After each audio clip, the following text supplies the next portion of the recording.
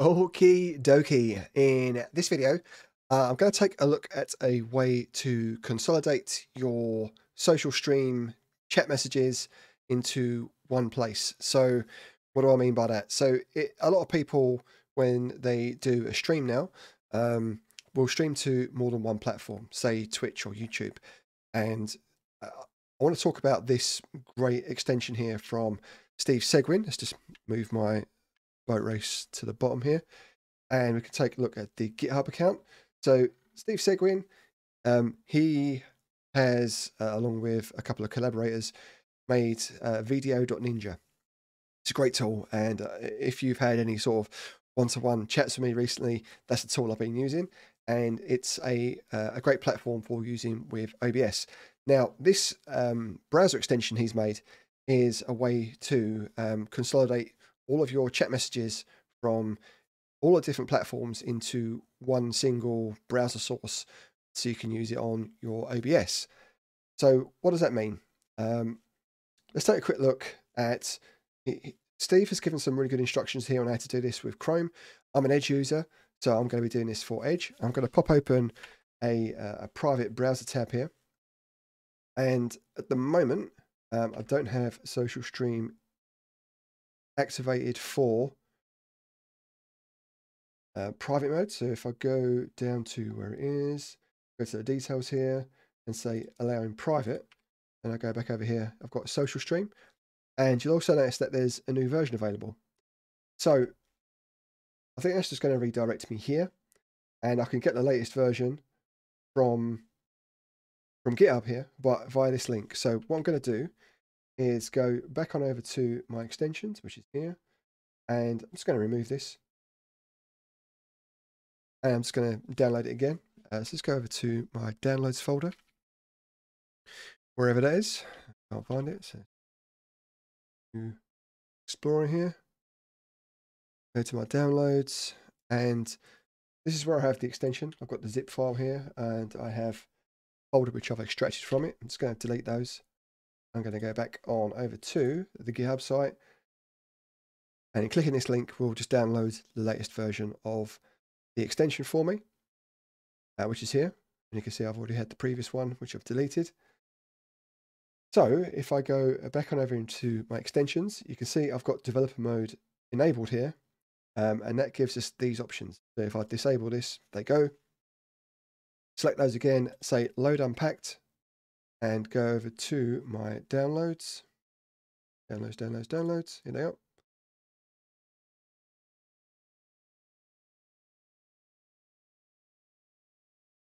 Um, uh, downloads? Huh? Downloads. And open this file here.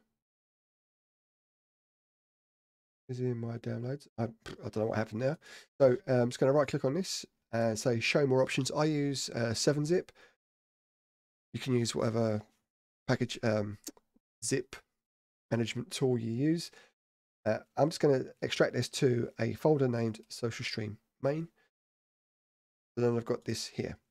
So this means now I can, um, sorry for the scrolling, I can say load unpacked and go back to the downloads and say social stream main.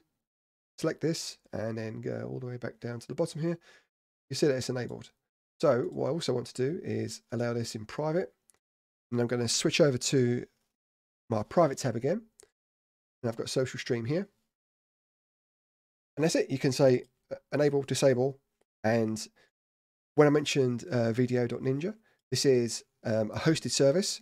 So this will just po point to um, this information, so this dock.html and this index.html, which are on vdo.ninja somewhere, and I've got a session for my what I'm using now. Um, but let's just go over to YouTube. I'm using a private window because um, I know that um, there will be a lot of uh, live sessions going on live sessions going on at the moment so it's just like youtube here and if i go down to live like google track me yes live.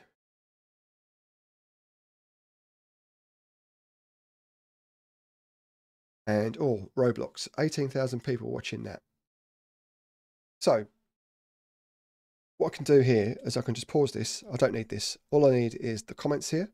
And for social stream to work, you need to pop out the chat here. So now if I go back over to the social stream extension, and there's, there's two links, Dockable streaming chat link. I'm going to open this in a private window and you'll see the comments coming in here for that stream. And then there's also this part here for single message overlay only link. So this is if someone has a message to you which you want to highlight in your stream, you can use this one here. So let's open this in a private window. And nothing at the moment, of course, but let's just pick one, this one here, and then it pops up. Now, with all the options that are selected at the moment, it's just going to stay here forever. So there is an option here to dismiss after 20 seconds. Let's check that one. And I'm going to need to open up this link again because at the moment, this doesn't have the uh, show time at 20,000 milliseconds. So I could just add that to there really and hit enter. So that will disappear over time because it's just refreshed. It's gone away anyway. So I click on one of these, it's going to show up. And then after 20 seconds, it will go away. This is great. Um, so basically, this is so um, I can add this to OBS as a browser source now. And uh, if you look at this, you can go to inspect and you can find all of the like the CSS variables relating to that. It's, it's gone away now, so we can't see that. Um, but if there is anything you want to adjust, you can do that in the source code file, which I just downloaded from GitHub. Um, I'm just going to go into how to set this up in OBS for now, and then we can maybe take a look at that towards the end of the video. Okay, so I've got my YouTube stream going. Um, so just a bit of clarification. This isn't so you can pipe other people's comments into your stream. They could, but it'd be a bit weird. It's, it's, it's for your own stream. So this is when, um, say if you are streaming to Twitch and uh, YouTube, Facebook maybe, um, that you can go and set this up before you start streaming. Um, and then you could have all of your chat consolidated consolidated into one overlay. Right, so let's find one for Twitch. Uh, Twitch TV.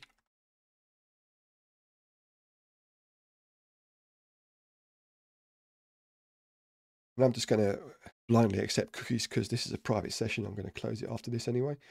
let's go over to uh, this one here. We've got the chat over on the right. I'm going to go to the cog. And what happened there?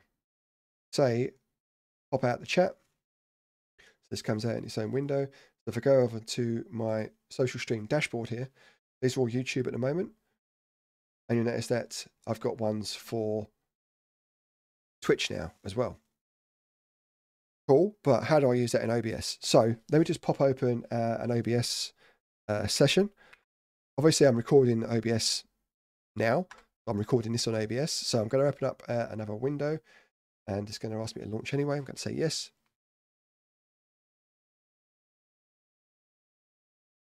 Course, it's opened up on the other window. And we've got a bit of um, sceneception going on here.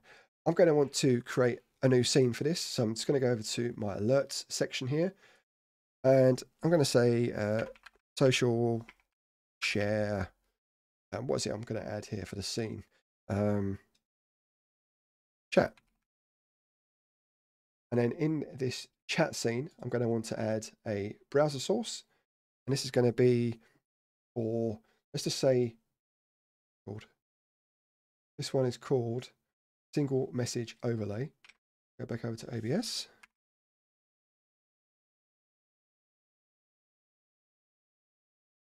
We call this single message overlay and let's hit enter on that. And this will bring up the properties for the browser source. So that is this here. So if I copy pasta that into here for my URL source, and my canvas for OBS is 1920 by 1080, is it? Um, I'm just going to want it at 1920 width, so it takes up the full width of the screen. And I'm going to have it at like 300 pixels high. Let's enter that. Okay, so now if I go over to my social stream dashboard and pick a message and then tab back on over to OBS here, you can see that, that pops up. Sweet, right? So uh, let's just move this down here. But it's not the best way to, to, to manage it. So um, like you're streaming, you've got your OBS on one side, and you've got like all these browser tabs open, and like how do you manage that sort of thing? It's, you know, you can't really sort of go into a browser, click on a link, and then sort of try and manage it in OBS. What Steve has done is that you can um, use this chat here as a, a, dock. So you can say custom browser dock, and you can say dock name, um, social stream, dock.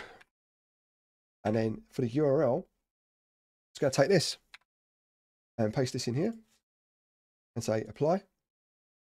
Now I've got a social stream dock and put it over, over the side here if uh, OBS will let me. There we go. Right, so apply, close that. Now I've got my stream over here and you can pick out any message I like and it shows up in the stream. Sweet, right?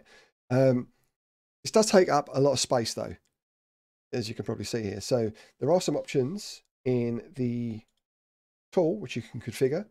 You can say light mode if you've got uh, like a, a light and dark scene. Um, so say if I overlaid this onto like a, a very light screen, then um, you'd see that quite easily. But if it was dark, then um, probably not so well. Um, so let's go back to these options. They can say hide the source icon, um, which will say if it's from Twitter or from uh, Twitch. Um, you can hide the timestamp and we'll just leave it at that, I guess. So you notice that this has now changed. So what I can do with this is just copy those variables, go back on over to OBS here. And for my dock, can I edit this browser docks? In here, and just pack those on, make sure I've got the and say apply and close that. And you, when it comes back in, this is, it just shows you the username, their avatar and their message now. So it's a bit, bit nicer to manage that way. Okay, cool. So we've got that on screen. Um, what we can also do is there is an option to have this as, I think it's compact mode. Here it is, compact. So that just adds a compact at the end. So we can use that as a browser source in the scene here to add in another scene. So as to say browser, and this will be chat overlay. And then in here, I don't want to have that. Let's just copy that and then use that in here. And I, am not sure what dimensions I'm going to need to use. So I'm just going to leave it at the default here. Then I now have the, the chat as well. So you could probably put this into like a, lower third on um, on your display here. So then you can pick out any messages from here and you can also have your chat as well. Awesome, right? So I think that's dope.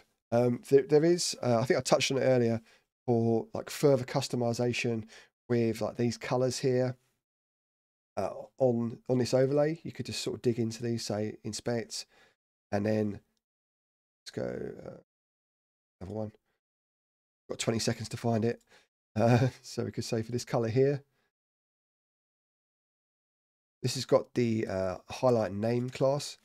So if I copy that, let's open up uh, VS Code. Uh, VS Code.